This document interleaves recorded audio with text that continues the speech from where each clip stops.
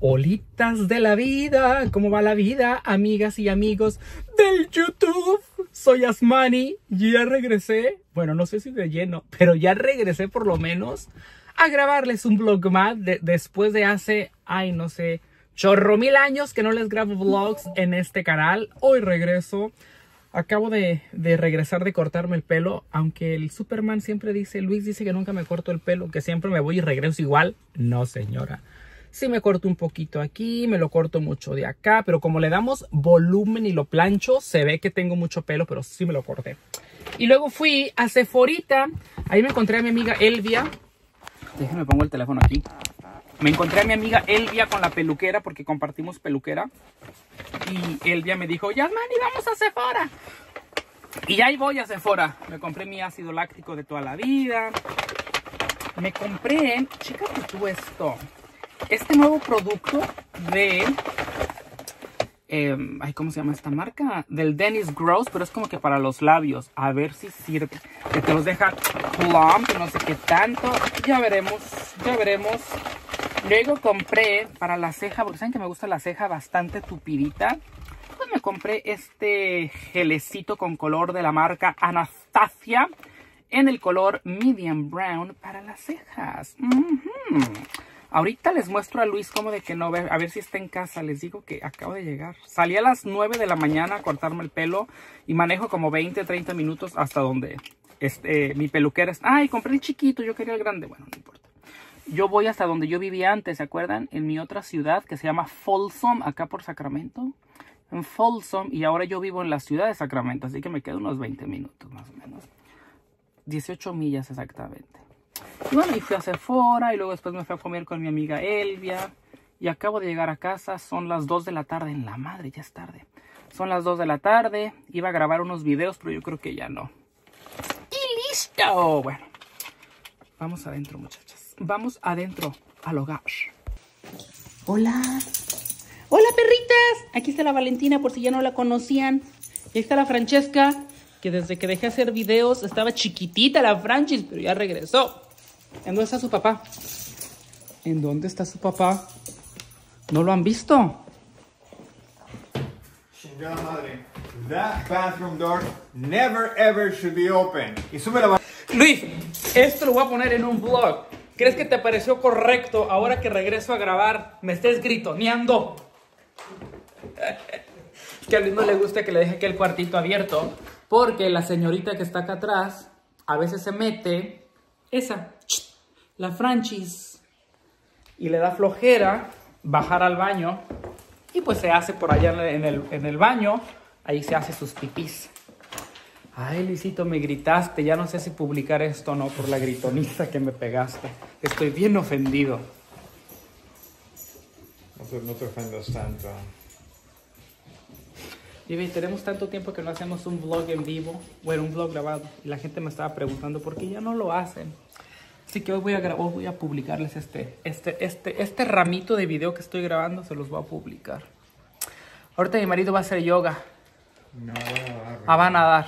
Me dijo que sumiera la barriga, no sé si escuchar. Que yo ni barriga tengo. tengo menos barriga que nunca y él, según él, estoy barrigón. estoy muy preocupado. Allá, sus patillas. Pues así la situación. Yo creo que yo ya en un ratito me voy a caminar. Los perritos también. ¿Qué hora son? Ah, son las dos y media de la tarde. Porque a las cinco de la tarde ya se pone medio anochecito.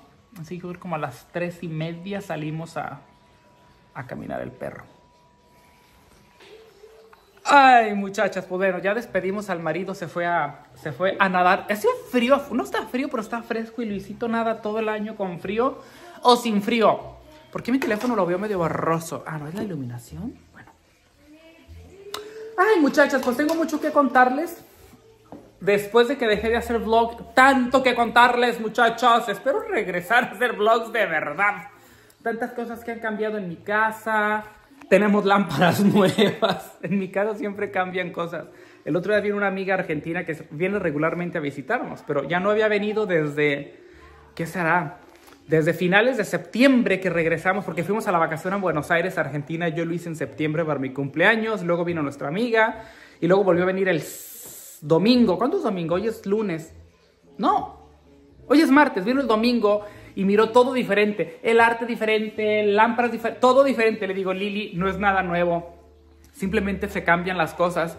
Lo que está arriba a veces está abajo, siempre. Esto sí es nuevo. Este cuadro lo compré en Buenos Aires a un, a un chico, un, un, artista callejero, y yo me lo traje el puro canvas enrollado y luego lo mandé enmarcar. Este marco me costó mucho, mucho más caro que el cuadro. Em, pero tiene plata, es precioso. Y a mí me gusta ese tipo de cuadros como mínimos para que se vea bonito esto. Bueno, fue lo único que pasó, muchachas. ¿Qué otra cosa cambió en esta casa? No sé si les mostré las nuevas sillas. Estas sillas son nuevas. Compré dos. Son nuevecitas. Antes tenía otras, ¿se acuerdan? Que giraban. Nuevos, el nuevo espejo. ¿Recuerdan el espejo que había aquí muy diferente? Pues ahora tengo este que... Este es el que yo quería desde un principio, pero me desesperé. Y compré el otro. Este pedestal que está aquí atrás de mármol, ese ya lo tenía, pero ahora lo puse aquí.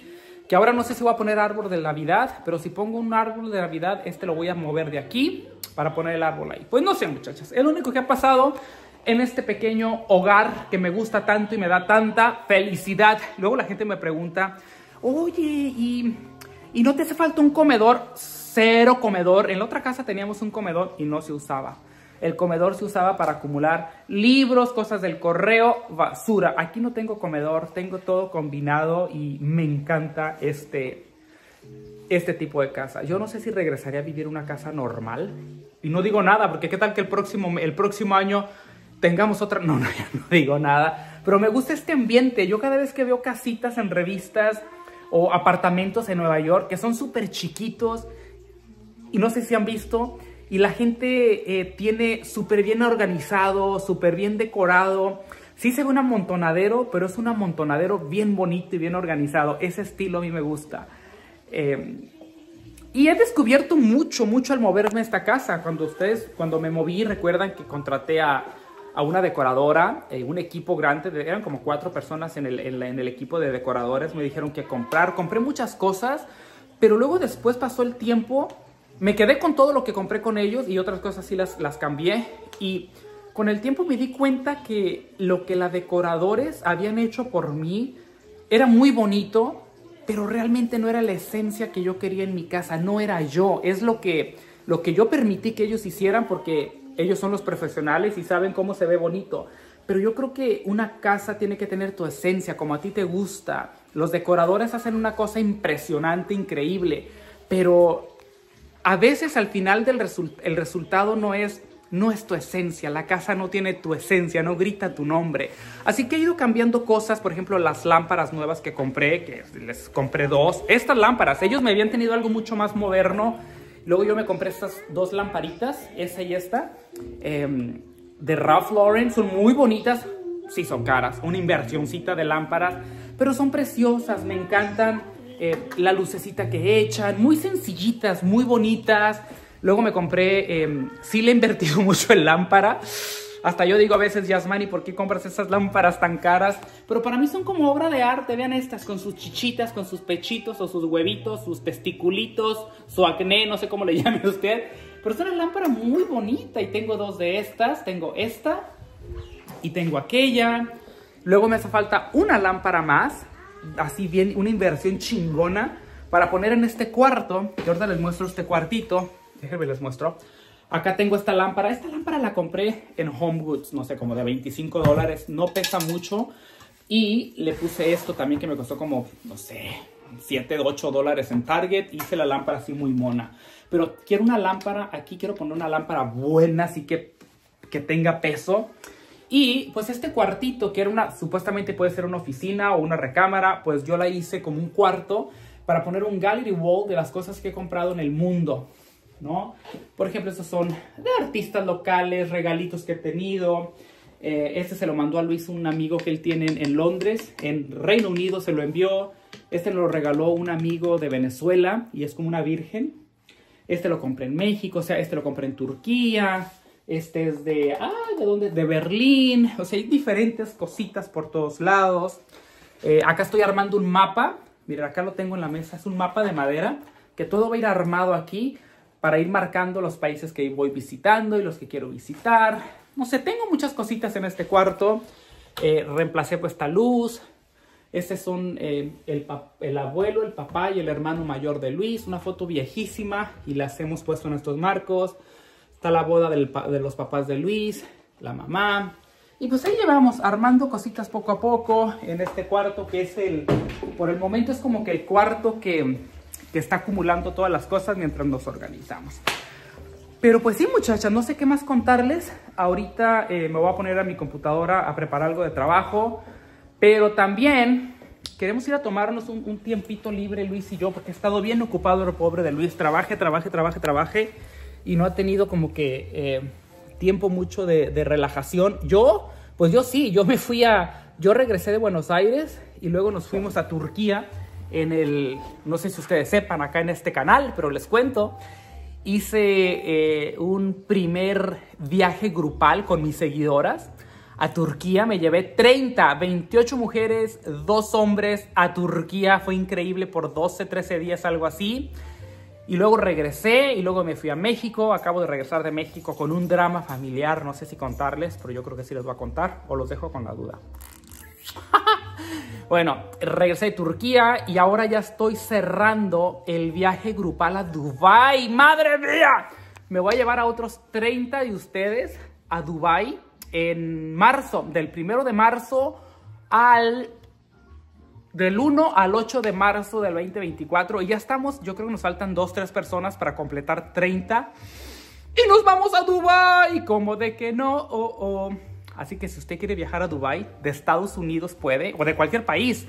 Pero la promoción que tenemos ahorita son 3.199 dólares saliendo desde Los Ángeles y vámonos a Dubai. Incluye boleto de avión y de vuelta, el hospedaje, los desayunos, algunas cenas, algunos desayunos, almuerzos, mucha diversión y muchas entradas a muchas atracciones en Dubai. Va a estar increíble. Ahí les voy a dejar un link de WhatsApp por si les interesa. Ahora sí, ¿les contaré el drama familiar o no?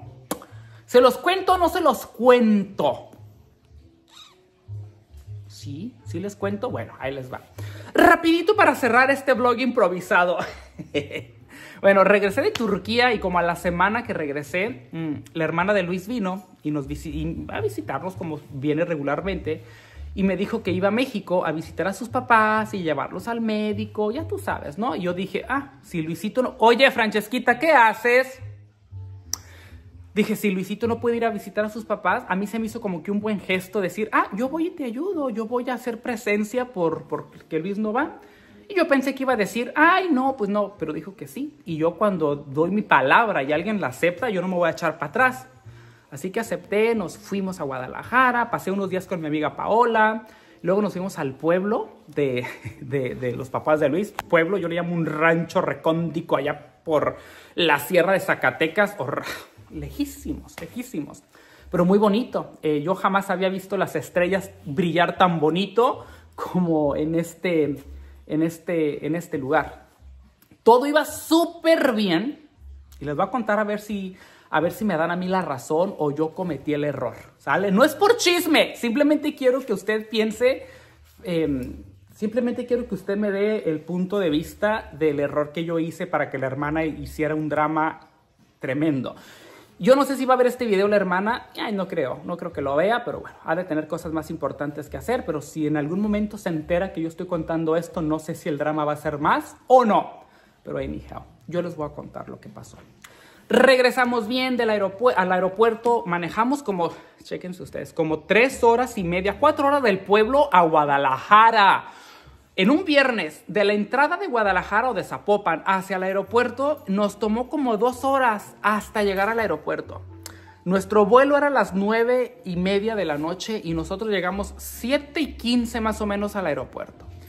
Yo no había hecho check-in porque a mí no me permitió la aplicación hacer check-in ni nada. Ella ya había hecho check-in, traía sus maletas, ya tenía hasta sus etiquetas para pegárselas a, a las maletas, entregarlas y subirse al avión. Yo no tenía nada de eso. Yo tuve que hacer una fila enorme como por una hora y media, ya saben, en el aeropuerto de Guadalajara, volar en Volaris, que no les recomiendo Volaris por nada del mundo, pero bueno, es lo que había. Eh, y si pongo mi teléfono aquí para platicarles más a gusto. y bueno, este, yo me puse en fila, le dije, ¿sabes qué? Aquí te dejo yo me voy a la fila porque no tengo ni pase de abordar y ya Volaris me ha hecho antes que si no llegas a tiempo te dejas sin asiento y, y, y pierdes tu boleto porque es una línea de bajo costo. Anyhow. Ahí la dejé y le dije, ya me voy a la línea, tú ya tienes todo listo. Y como aquí en Estados Unidos, cuando ya tienes tú todo listo, ya simplemente agarras tu maleta, ya tienes tus etiquetas, vas y las entregas al mostrador y ya te vas. ¿O no? Así sucede aquí en Estados Unidos. En México no sé. Anyhow. Yo me puse en la fila, luego ella llega y me dice, y yo le digo, de broma, ¿sabe? Le digo, uff, la fila está hasta allá atrás. Y sí, era una fila espantosa que yo creo que salía hasta afuera del aeropuerto de Guadalajara. Los que han estado en el aeropuerto de Guadalajara saben que es un desmadre.